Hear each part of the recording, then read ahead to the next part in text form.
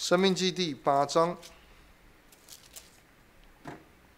第一节，我们一起来读，预备开始。我今日所吩咐的一切诫命，你们要谨守遵行，好叫你们存活，人数增多，且进去得耶和华向你们列祖起誓应许的那地。你也要纪念耶和华你的神。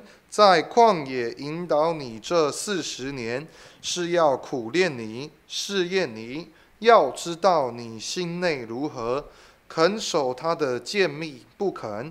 他苦练你，任你饥饿，将你和你列祖所不认识的玛瑙赐给你吃，使你知道人活着不是单靠食物，乃是靠耶和华口里所出的一切话。这四十年，你的衣服没有穿破，你的脚也没有肿。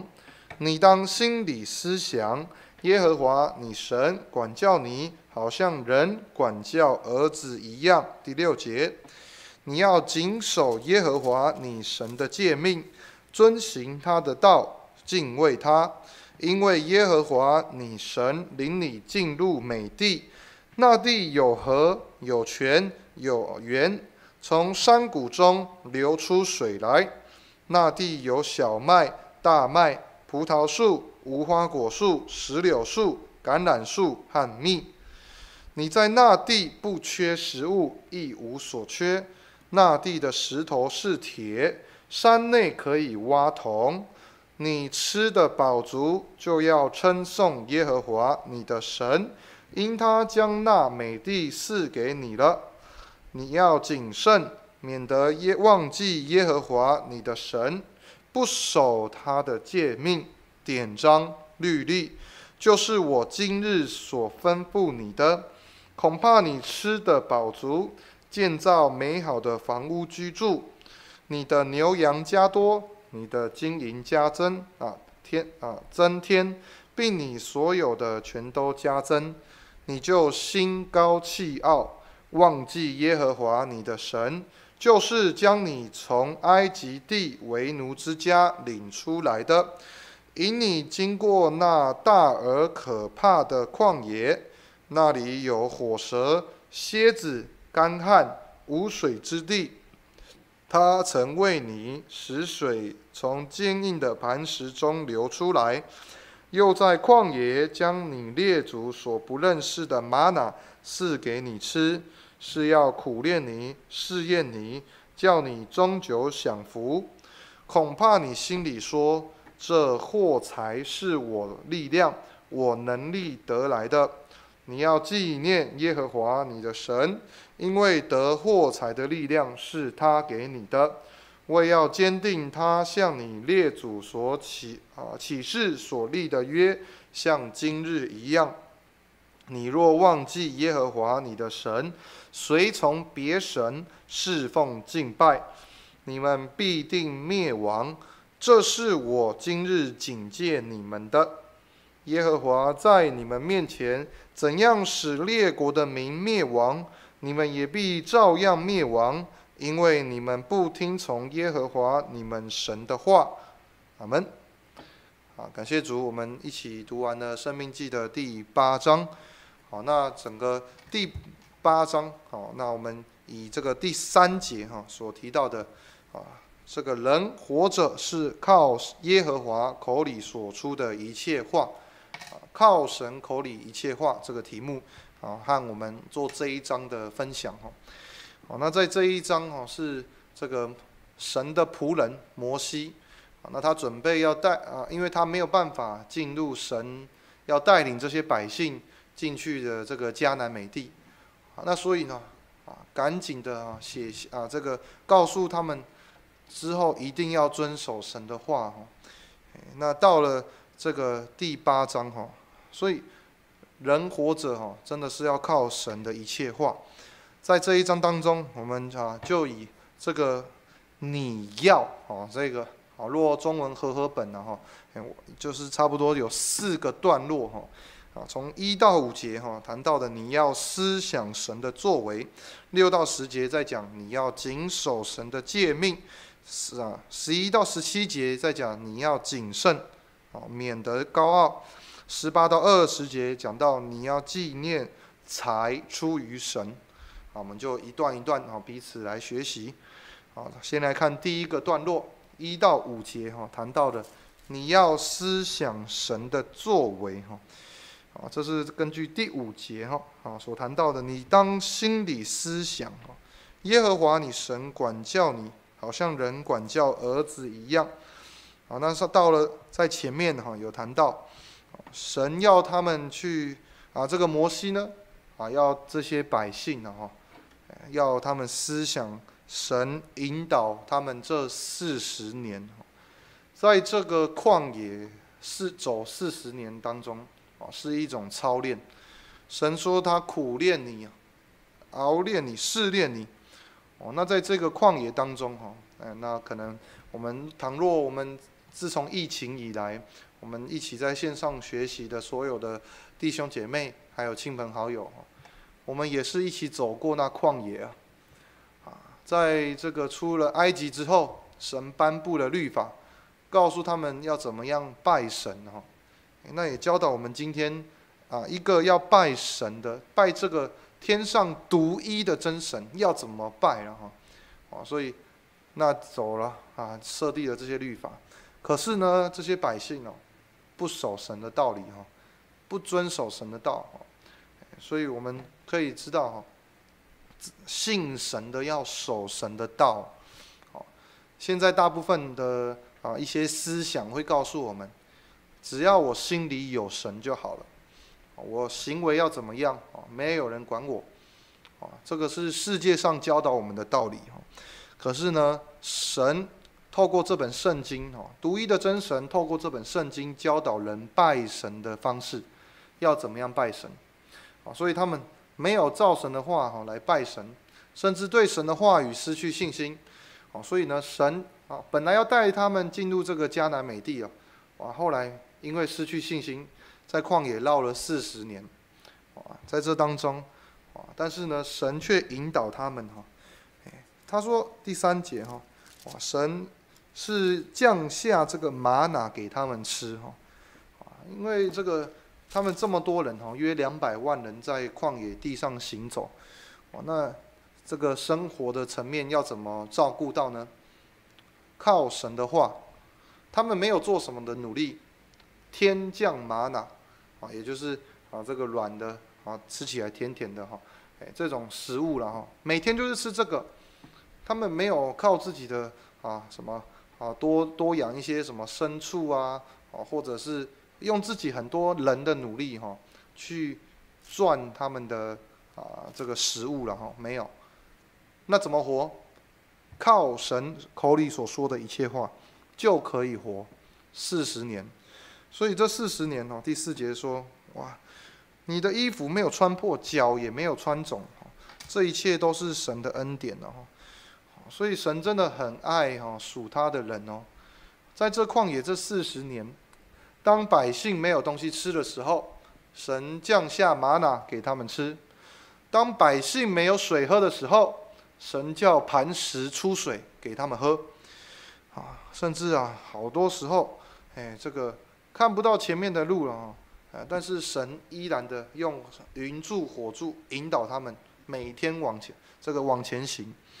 哦，那可是呢，这些百姓哈，也没有办法领受了哈。所以第五节哈才说，在过程当中，哎，神也有管教哈。哦，那这个管教好像人管教儿子一样哦。这个就是我们每一个人呐，哦，都是神的儿子，都是从神来的。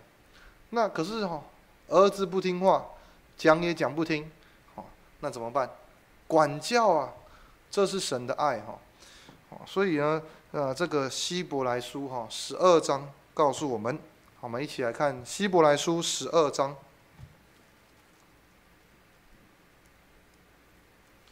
希伯来书十二章。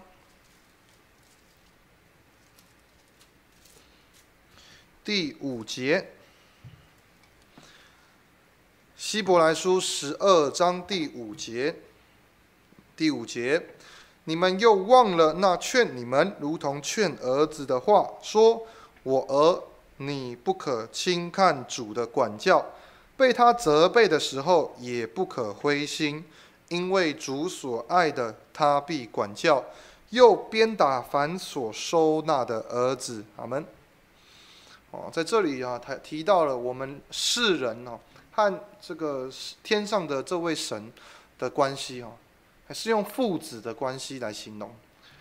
但是我们有时候也远离这本圣经的教导，不愿意遵守神的话。那神怎么带这些百姓，也是同样的带我们管教。但管教是出于神的爱哈。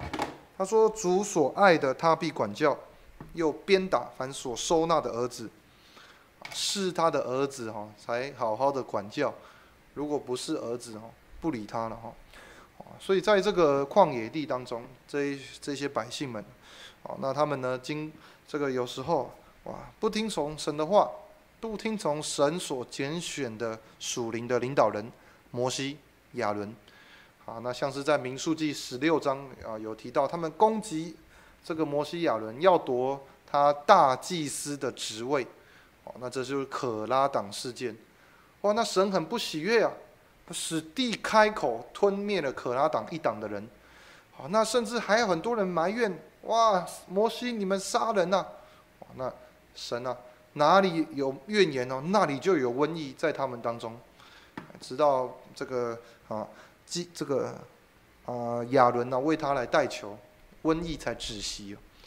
好，那甚至啊到了后面啊这个啊。他们听从有一个巴兰先知的教导哦，哦，去和这个有一个地方石亭啊的这些女子哇发生淫乱的关系，哇，那一样瘟疫在他们当中又死了好多的人，啊，那这一些事情哈都是神的管教，为什么不听话？明明已经颁布好了这些道理哈，可是他们不听了哈，所以神用很多的刑罚。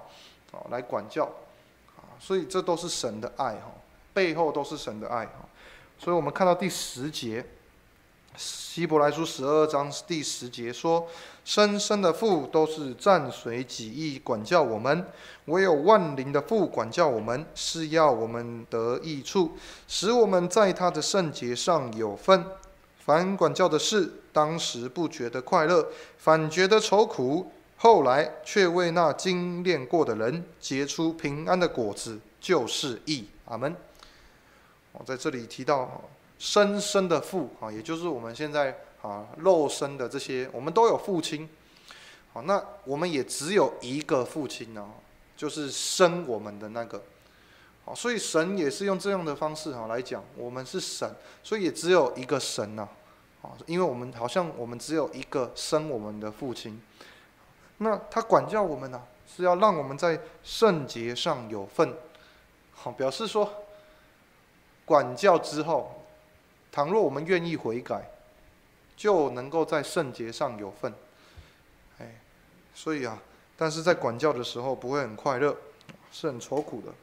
可是我们每一个人哦，都要在那个管教的过程当中去思考神的爱啊，好，所以。这个第一段哈，这个摩西啊，要告诉这些百姓，啊，你们进去之后一，你们要一直思想神这四十年旷野这四十年的作为，因为这一切都是真的啊，啊，所以可能我们在线上啊，有一些我们的亲朋好友，可能我们在不认识神以前呢，哎，我们也招致了一些啊不好的事哈，可是这就是神的爱。打我们要我们来回到圣经神的真理里面，我们必须哈要能够看清楚背后是神的爱哈，那更是我们主内的统领哈，我们要记得哈，真的神怎么样带领我们走过那些黑暗，管教我们，不是不爱我们，爱你才打你哦，要我们回头，所以一个人哦，他不断的去思想神的作为的时候。哇！我以前走过那些哈，不敢呐哈，不敢再走回头路哈。所以第一段哈，摩西告诉这些百姓，也是告诉今日的我们，要思想神的作为。哈。看回来，《生命记》的第八章，《生命记》的第八章的第二段，啊，六到十节，啊，他谈到了你要谨守神的诫命，啊，所以在这个第六节，哈，也就是你要谨守，哦，那要遵守神的诫命呢，啊，遵守神的道，好，那为什么呢？因为啊，神要带领你们这些百姓。进入迦南美地，哈，哇，那七到九节是在描述那个美美地多么的漂亮，哇，这个里面哇，他说有河有泉有园，哇，那甚至还有小麦、大麦、葡萄树、无花果树、石榴树、橄榄树和蜜，哇，那这个生活无忧无虑了哈，这个地方哦，真的是美地哦。所以我们可以对照哈，他们在旷野这么的辛苦，每天只能吃玛瑙，哇，进到这个美地之后，居然有这么多水果了哈，啊，还有很多的丰富的这个物产哦，所以生活的层面哈，啊，对我们现在的话来讲，应该是啊，生活机能很好哈，哇，迦南美地就是这样的美地了哈，哎，那甚至啊，神说神是昼夜。哦，从岁首到年终都看顾那地哦。我们来看《生命记》的十一章，《生命记》的十一章第十节。哎，第十节说：“你要进去得为业的那地，本不像你出来的埃及地。你在那里撒种，用脚灌溉啊，浇灌，像浇灌菜园一样。”你们要过去得为业的那地，乃是有山有谷、雨水滋润之地，是耶和华你神所眷顾的。从岁首到年终，耶和华你神的眼目时常看顾那地。阿门。我在这里啊，再一次讲到了那个迦南美地的美好。哇，那他说这个是啊，同样哦，有山有谷、雨水滋润哦。那这个。进去呢，神呢还是从岁首到年终，一整年的哈，日日夜夜啊，不断的在看守，很多地方啊啊，这个看似人看似很平安呢，可是倘若没有神的保守，哎，一切啊没有保障了哈，哎，所以是既然有神岁首到年终的看顾哈，哦，这个是哦最好的保全嘛哈。就是这样子看顾那地，那不断的强调那地的美好，哇，那到底要怎么样才能够进去哈？啊，摩西刚刚说到你要谨守神的诫命才能够进去，哦，所以这一章哦，他不断的啊，其实生命记也都是一直啊告诉我们的哈，爱神的人要遵守神的道，哦，那不爱神的人不会遵守神的道。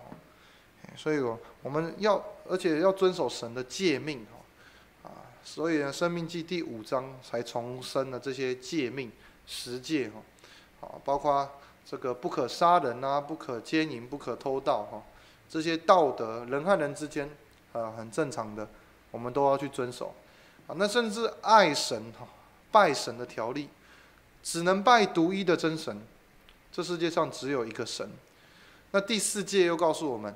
当守安息圣日，啊，也就是神的选民才会守，啊，不知道我们线上哦有没有一些啊基督徒的朋友，我们今天爱神，我们又想要进到这个神赐给我们的啊属灵的迦南美地哈这个天国，我们应当要遵守神的诫命，啊，那遵守神的诫命，第四诫告诉我们守安息日，礼拜六，啊，守了才能够进去哦。啊，是预表我们将来守永远的安息哦。那这个我们看到哈，一定要遵守了哦。所以啊，在我们也很清楚的马太福音六章三十三节告诉我们：你们要先求他的国和他的义，这些东西都要加给你们的哈。先求神国神义哈，那才能够享受这些美地哈，得享恩典平安的哈。那这个很多人哈会想说，哎呀，我都这个拼事业都来不及了哈，哪有时间来遵守神的道理呢？好，那主耶稣的角度跟我们看的角度不一样。主耶稣告诉我们，我们的人生的顺序是要先遵行神的道，神的意的哈，也就是神的神的道理哈。那遵守神的道，其他的东西就会加给我们。那将来我们得以进到那美地哦。我们不要忙碌了一生之后，结果哇，只赚取了地上的金钱，可是呢，没有遵守神的诫命，最后被神抛诸在外哦。好，那所以当我们这个啊，有时候我们得不哦，或许我们现在在这种属灵的美地里面哈，真教会里面，可是我们也可以思想哦。为什么我们得不到平安？啊，那甚至我们可能啊，生活上会有忧虑啊。诶，照理来讲，我们进到这个美地，哇，你生活不用忧虑的哈，神一定会带领，只要我们遵守神的诫命。那所以我们要去思想，当生活层面出了问题的时候，是不是我们没有遵行神的道、神的诫命？啊，所以哈，在第二段当中哈，他提醒我们哈。要谨守神的诫命哦，才能够保守在这个美地当中。好，那所以甚至在第十节哈，哎，生命记的八章十节说：“你吃的饱足，就要称颂耶和华你的神。”啊，所以今今天守神的道的人哈，甚至在这个末世啊，真的生活很多人可能会产生问题了。但是守神的道的人。生活的问题不是问题，好，那我们一旦有了，我们要懂得称颂天上的神，啊，因为生活的问题是在于我们有没有遵守神的道。第三段哈，啊，从十一节到十七节当中，啊，他在谈到你要谨慎，免得高傲哈，啊，所以在第这个十一节哈，他就说你要谨慎啊。免得你忘记了耶和华你的神，不守他的诫命、典章、律例了。十二节说，恐怕你吃的饱足啊，建造美好的房屋居住啊，牛羊加多，金银加增等等，但是就心高气傲哈。所以这个第三点，他告诉我们要谨慎啊，免得高傲。刚刚我们谈到他这个神是他们迦南美地哦，哇，这个。啊，甚至一串葡萄哈，两个人抬哈，哇，那表示非常的结实累累哈。那在这个美地哈，要怎么样一直保守在这个地方哈？那是要除去一颗高傲的心哦。他说：“倘若你吃的饱足，那个杀手哈，信仰的杀手就是安逸的日子。当人什么都没有的时候。”他会很懂得依靠神，因为他什么都没有。可是当人渐渐的有一些哈物质的能力啊、钱财等等的时候，啊，依靠神的心就渐渐的减弱了。当依靠神的心渐渐减弱之后，有这些物质啊，吃的饱足了，啊，真的哈，这个是属灵信仰的杀手，会忘记了神，忘记了要遵守神的道。忘记了，我们能得到这些，是因为来自神的帮助了。所以到了先知书哈，也就是这么的说。啊，来看何西阿书。何西阿书十三章。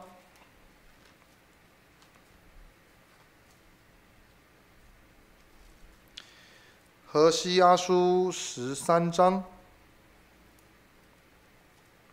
第六节，何西阿书十三章第六节，啊，第六节说：这些民照我所示的食物得了饱足，既得饱足，心就高傲，忘记了我。因此，我向他们如狮子，又如豹，伏在他道旁。我遇见他们，必像丢崽子的母熊。撕裂他们的胸膛，在那里我必像母狮吞吃他们，野兽必撕裂他们。以色列啊，你与我反对，就是反对帮助你的，自取败坏。阿门。啊，倘若我们从生命记那对照先知书的时候，我们会看到有许许多多极大的差异。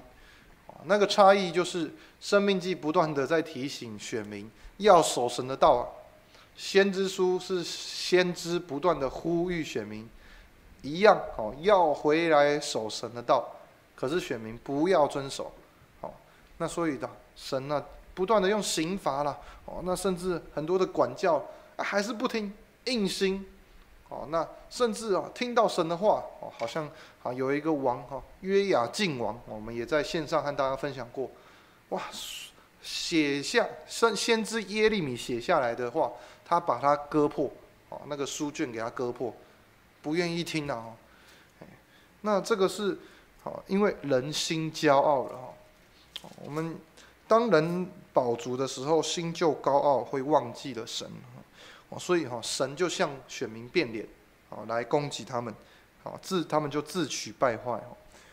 所以哈，在安逸的时候，我们更要感谢神很多时候我们会不小心，真的啊，太安逸了，忘记了我们以前哦怎么努力的打拼，神怎么样祝福我们，哇，那结果现在安逸的日子久了之后，忘记了曾经这么倚靠神的时间哦。好像圣经当中有记载，有一个王啊，叫做乌西亚王哦。啊，乌西亚王他一上任的时候啊，他是个好王哦。哇，那所以呢，甚至啊，攻打很多的地方得胜，那甚至还造城墙哦。那这个城墙很厉害啊，很多的利器啊，哈等等。好了，那当他本来什么都没有的时候，他很谦卑啊。可是当他一有哈这些。哦，这些名声啊，哈，甚至他声名远播，哦，别很多的地方都知道他，哎，可是当他有这些的时候，圣经记载，他就心骄气傲，离弃了神。那他想说有这些建设，哇，还剩什么没有做？哇，献祭给神。哦，可是献祭呢，并君王不能够献祭哈，要祭司啊才能够献祭。哦，那。他哦就很想要到这个店里去献祭，神还爱他，提醒他，好派了哦这个好多位先知哦来挡在他面前，哇，王啊，献祭的事不是你的事啊，可是啊这个乌西亚王他不听，那硬要他一定要到里面去献祭，好，所以呢，当他准备要进献祭的时候，哇，额上哦就出了大麻风。哇，大麻风在圣经当中是罪啊，哈，就是罪的，这就是表示是罪了哈。那这个得了大麻风的人哦，要隔离哦，哎，好像我们现在哦染疫的人要隔离哈。那大麻风更可怕哈，哇，那个长白斑呐哈，哇，那个很痒哦，等等，还会发散，甚至会感染别人等等哦。那所以他要自己自己隔离哈，那他就一直到隔离到外面，嘿，到他死的日子。再也没有在进宫里面哈，这个就是神的刑罚哈。神这君王，神也会刑罚的哈。那我们会说哇，他以前哦这么的好哈，为什么没有办法持守哈？那就是因为吃的饱足了哦。啊，有时候这个对照我们的信仰真的是这样啊。很多时候我们啊东西没有的时候啊，主啊，好给我们一点东西吃吧。哎，真的哈，莫名的啊，可能有人这这个拿东西给我们吃啊，哦，或者是啊，真的我们突然间开销可以减少哈，这都是神的带领哈，因为我们遵守神一切的话。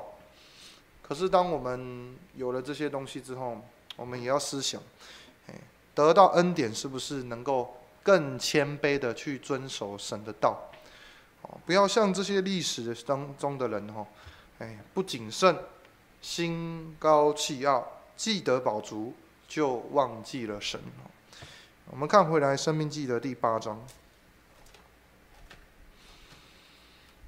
生命记》第八章的第四个段落，啊，十八到二十节，啊，他提到的是，啊，你要纪念啊，财出于神，啊，也就是获财，啊，得获财的力量是出于神，哈。啊，那这个是啊，从这个第第十十八节哈有看到的哈，你要纪念耶和华你的神，因为得获财的力量是他给你的。唯要坚定他向你列祖所起是吧启示所立的约，像今日一样。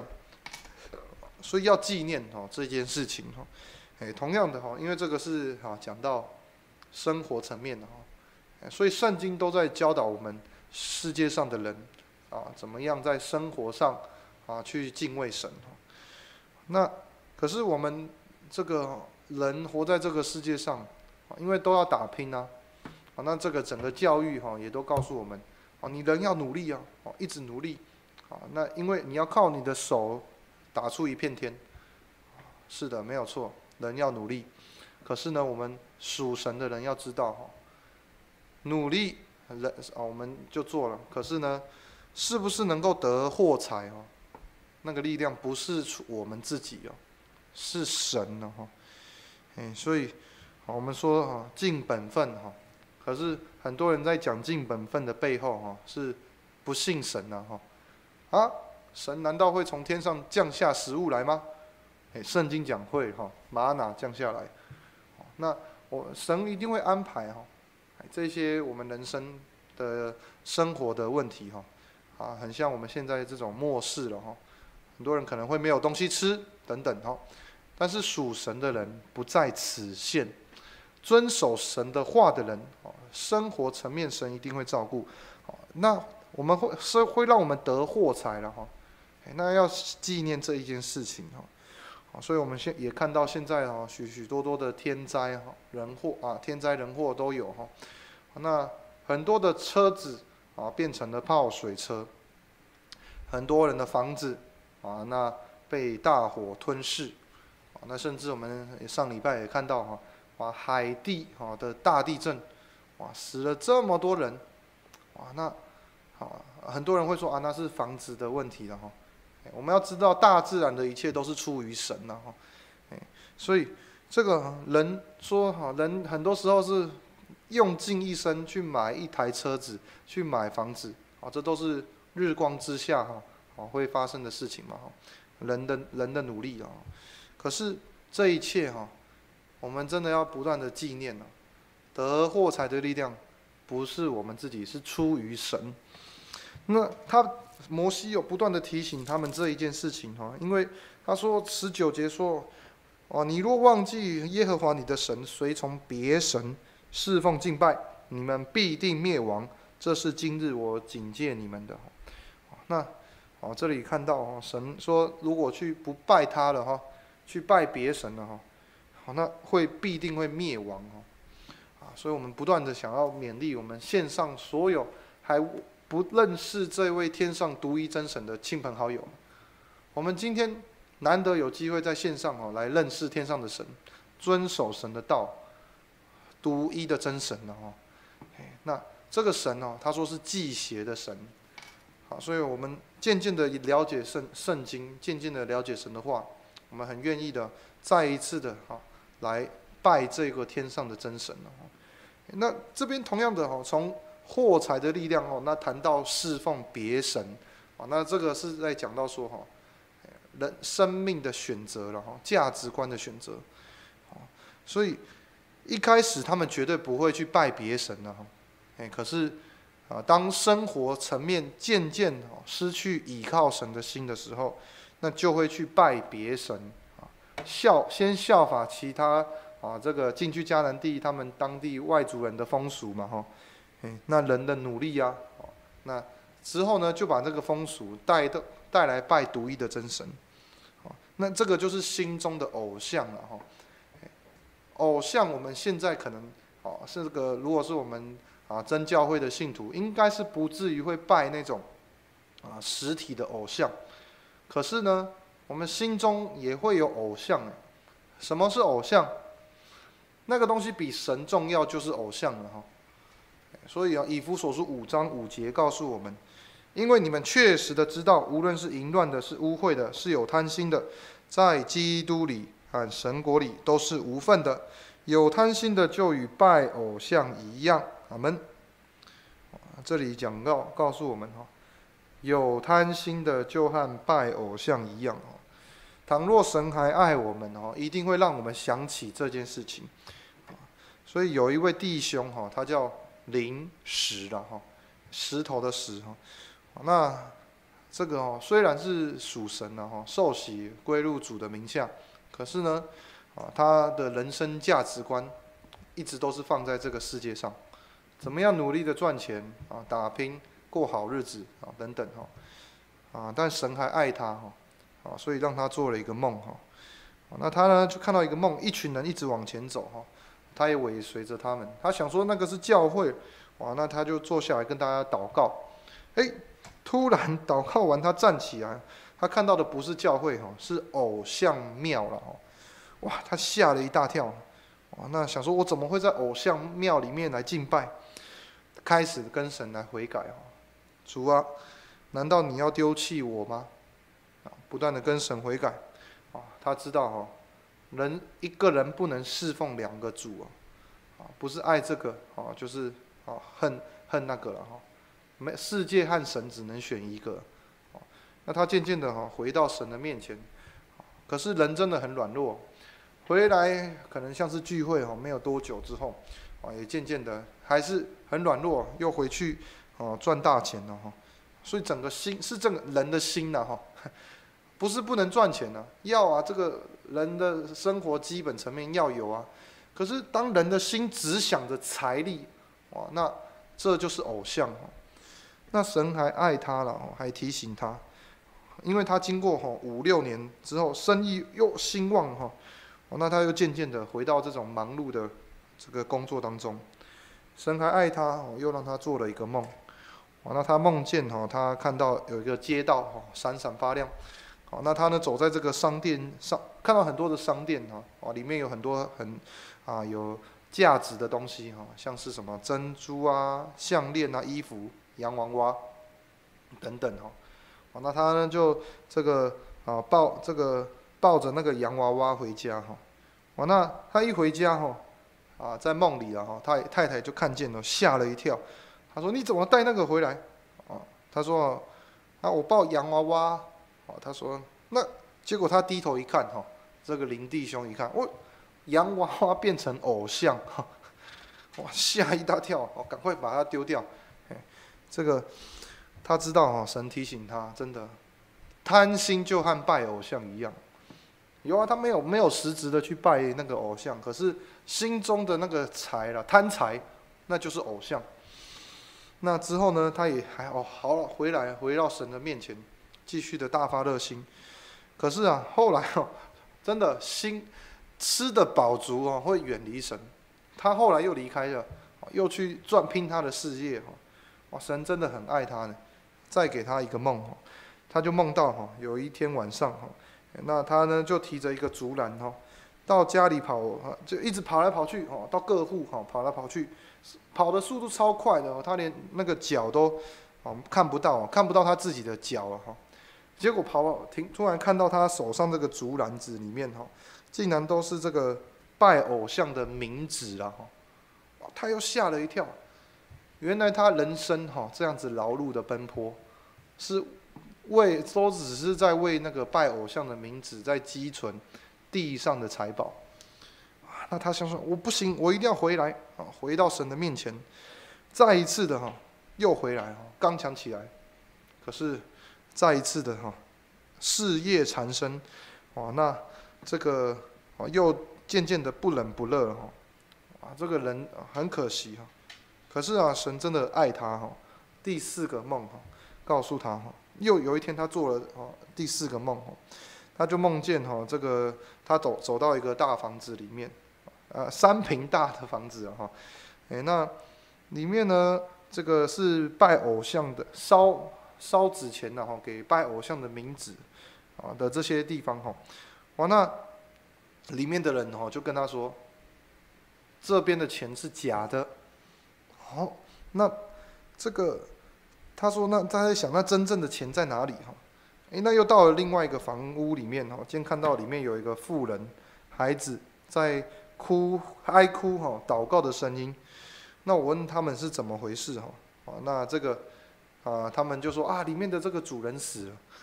哎，他一看那个哀哭的妇人和孩子，是他的太太和他的小孩。哇，那他哦走，看到哇，原来灵命已经死掉了，但是感谢神哈，他们家的人为他祷告，他又活了起来哈。哎，那所以在灵里面哈，他就复他就复活了哈。我他一直想到哇，真的，他在在这次之后哈，很感谢神，哎，他愿意回到神的面前哦，不不再把他的心思意念放在这个世界的偶像了，这都是偶像啊。什么事情高过神，那个就是偶像，财力、贪财，这些都是。感谢神哦，这个林弟兄哦，啊，神真的爱他，之后他整个回到神的面前哦。哎，那才写下了这些见证哦。我们到今日才有办法彼此来提醒哦。所以哈，我们啊，真的哦，在这个世界当中哈，没有什么好留恋的。我们的家是在天上，在这个世界上的金钱价值观够用就好。来看真言三十章，真言三十章第七节。三十章第七节，我们一起念到第九节。预备开始。我求你两件事，在我未死之先，不要不赐给我。求你使虚假和谎言远离我，使我也不贫穷，也不富足，赐给我需用的饮食。恐怕我饱足不认你，说耶和华是谁呢？又恐怕我贫穷就偷窃。以致亵渎我神的名，阿门。啊，在这里哈，哎，有一个人呢，叫做雅古尔，他的祷告向神求两件事，希望在未死之前，啊，人生命结束以前，一定要赐给他。第一个叫做虚假和谎言远离他，啊，这个我们要做真的信徒了哈，真神的儿女。所以这些虚假的事情哈，不能在我们的身上。那第二个哈，是给我们日用的饮食，然后够用就好了。那不要不够用哦，以致我的贫穷就偷窃啊，那太过用了哈，就我就亵渎神的名哦。啊，这个就是一个属神的人的啊信仰价值观。啊，我们不知道我们在线上我们的亲朋好友，我们的人生是为什么来努力哈？我们在世界上拼的这一切，哈，啊，应当要找到独一的真神来敬拜，因为人活着不是靠这些啊财物、货财，不是，人活着是靠神口里的一切话。哦那我们的线上所有的呃亲朋好友、主内同龄哦，我们也更加要彼此提醒哦，生命的重心只有神，人生的价值观只有神。只有神的话，我们应当要调转我们的脚步。可能很多时候我们会迷失在这个世界当中，告啊会告诉我们人活着要靠许许多多的金钱哦等等。可是我们圣经告诉我们，人活着不是靠这些，是靠神口里所出的一切话。所以我们彼此要思想神的作为，谨守神的诫命，谨慎，不要骄傲。纪念的获财的力量出于神，让我们时时刻刻把神的话抓紧，面对幕后的人生。我们一起来唱赞美诗，三百六十四。